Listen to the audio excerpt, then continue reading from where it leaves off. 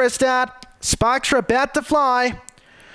Racing, our Benson was away cleanly. Barrio B showed speed. What a ripper. Then followed by a little bit twisted solid tank between runners. Sunset Nightjar working forward. Fancy that Fred was checked out to last with Kenya Kraken. What a ripper took over for Credelli. Leads by two on little bit twisted. Then followed by our Benson. Barrio Beach running on. But what a ripper. The young star wins it by two lengths on our Benson. All a little bit twisted in a photo.